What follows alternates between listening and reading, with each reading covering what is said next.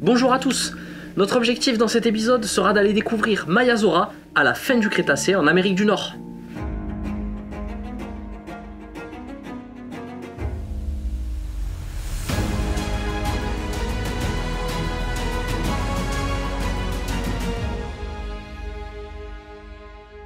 Mayazora, que l'on peut franciser par Mayazor, est un dinosaure hadrosauridé qui vivait en Amérique du Nord il y a 84 à 71 millions d'années, dans ce qui est aujourd'hui le Montana. Ce qui est très intéressant autour de la découverte de Mayazora, c'est la découverte de fossiles d'adultes en compagnie de jeunes et de coquilles d'œufs, dans un site de nidification qui était très bien conservé. Ça nous permet de tirer des conclusions sur le mode de vie de l'animal qui avait probablement un mode de vie grégaire et qui élevait correctement ses petits, notamment en les nourrissant alors que ces derniers restaient dans le nid et étaient peu capables de se déplacer. Vous l'aurez sûrement remarqué, mais Mayazora, contrairement aux autres dinosaures qui se terminent par Zorus, se termine par Zora. Cette présence de la lettre A, c'est en fait une féminisation du terme Zorus qui signifie lézard, et la première partie du nom, Maya, fait référence à une déesse grecque dont le nom signifie littéralement petite mère et dont le nom, du coup, complet donne Mayazora, qui veut dire reptile, petite mère. Mayazora a été découvert dans le Montana par Laurie Trexler en 1979, puis il sera décrit plus tard par les paléontologues Jack Horner et Robert Makela. Jack Horner, vous le connaissez probablement puisque c'est lui qui joue le rôle de conseiller scientifique dans les films Jurassic Park. Une des formations dans lesquelles on retrouve le plus Mayazora, c'est la formation de tout médecine, dans laquelle on a retrouvé un grand nombre de nids et d'œufs, à tel point que certains appellent cette formation la montagne des œufs, puisqu'on retrouve pas mal d'œufs dans la région. Autre chose intéressante, c'est que cette découverte du coup de Mayazora entourée d'œufs, elle est venue renforcer l'idée selon laquelle les dinosaures s'occupaient de leurs petits. C'est une idée qui à l'époque n'était pas du tout en vogue. C'est à partir de ce moment-là qu'on a considéré que les herbivores pouvaient vivre en très larges troupeaux et élever leurs petits. D'ailleurs, ces comportements ont ensuite été étudiés, pas seulement chez les herbivores, mais aussi chez certaines espèces de prédateurs carnivores. Comme je le disais, Mayazora devait probablement bien s'occuper de ses petits. C'est quelque chose qu'on observe chez l'animal, en particulier euh, au niveau de la structure des nids qui contenaient des branchages qui étaient probablement destinés à protéger les œufs, mais aussi à nourrir les petits après leur éclosion. La découverte d'os de petits et d'os d'adultes au même endroit laisse aussi supposer que les adultes restaient longtemps à proximité du nid après la ponte des œufs et l'éclosion des petits. Contrairement à certains animaux qui abandonnent leurs petits une fois l'éclosion effectuée, ou qui vont tout simplement abandonner leurs œufs une fois qu'ils sont pondus, comme par exemple les dinosaures sauropodes qui ont ce type de comportement d'après ce que nous en savons. Mayazora fait donc figure d'exception auprès des dinosaures qu'on connaissait à l'époque, puisqu'il est l'un des premiers qu'on découvre à être doté d'un véritable instinct maternel.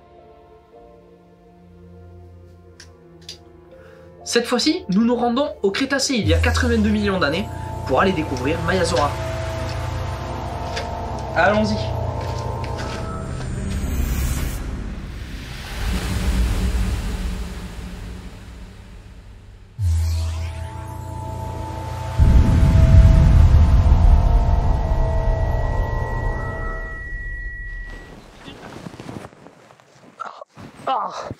le voyage a été très mouvementé. Je m'attendais pas à finir par terre. Bon, allez, il va falloir qu'on reparte. Mais avant, c'est bon, je... Mon nœud papillon Bon, il va falloir que je le cherche. Et que je tâche de trouver Mayazora.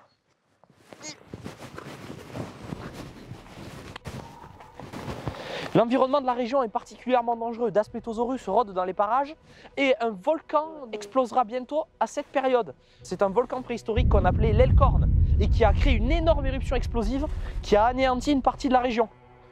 J'espère que je suis arrivé à la bonne date.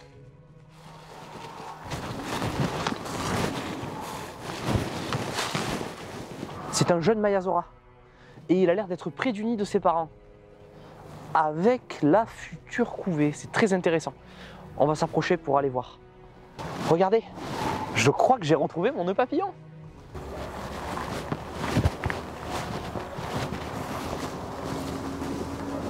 Et voilà. Ah voilà, bien mieux comme ça. Ce Mayazora n'est qu'un jeune spécimen. Les adultes, eux, pouvaient mesurer jusqu'à 3 à 4 mètres de hauteur pour une longueur totale de 9 mètres. Autant vous dire qu'ils ne seraient pas très satisfaits si je traînais près de leur nid. Je risque d'être en danger. Maiasaura était un dinosaure de la famille des Hadrosauridés, donc des dinosaures à bec de canard. Et ce bec, les dinosaures à bec de canard l'utilisent pour broyer les végétaux et faciliter leur digestion, contrairement à d'autres dinosaures comme les sauropodes qui eux vont arracher la végétation et l'avaler tout rond. En ce qui concerne les moyens de locomotion de Maiasaura, on sait qu'il se déplaçait à quatre pattes la plupart du temps, mais était quand même capable de courir sur deux, comme beaucoup de dinosaures ornithopodes, par exemple Iguanodon ou même les autres hadrosauridés comme Edmontosaurus par exemple. La peau de Maiasaura est principalement composée d'écailles. On le sait aujourd'hui, les hadrosauridés n'avaient probablement pas de plumes, puisqu'on a trouvé des momifications de peau qui étaient écailleuses, comme celle du T-Rex par exemple. Vous voyez? Les œufs existaient déjà à l'époque de Maiasaura. Donc quand on vous pose la question qui de l'œuf ou de la poule est arrivé le premier, c'est bien évidemment l'œuf, avec des millions d'années d'avance. Pour être précis, des centaines de millions d'années d'avance, puisque l'œuf apparaît comme structure euh, dans le vivant pendant le Carbonifère, donc bien avant le règne des dinosaures. En ce qui concerne les œufs de Maiasaura, comme la plupart des œufs de reptiles, ils devaient sûrement être maintenus à une certaine température pour favoriser l'éclosion. Et donc les parents bah, devaient sûrement les couvrir de végétation, pour les protéger notamment de l'environnement extérieur. On ne sait pas exactement quelle structure sociale avaient les troupeaux de Maiasaura, mais ce que nous savons, c'est que vivre en groupe, et en troupeau en particulier, ça diminue les probabilités d'être pris pour cible par un prédateur. C'est-à-dire que chaque individu a moins de chances de se faire manger. Notamment par des gros prédateurs comme Daspleto. Ça tremble Le sol est en train de trembler Il va falloir qu'on y aille Ça y est Le volcan préhistorique de l'Elcorn entre en éruption. Il va falloir qu'on rentre sur le temporis pour éviter d'être pris dans une explosion.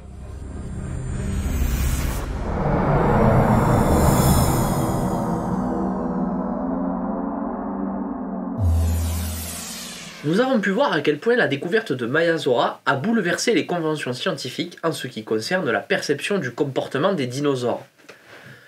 Si vous voulez en savoir plus, n'hésitez pas à vous procurer le numéro 8 de Dinopédia Découverte, dans lequel on a la double page consacrée à Maiasaura. N'hésitez pas à commenter la vidéo, aussi à la partager, à laisser un j'aime et à vous abonner à la chaîne si mes aventures vous plaisent. Merci et à bientôt pour de prochaines aventures.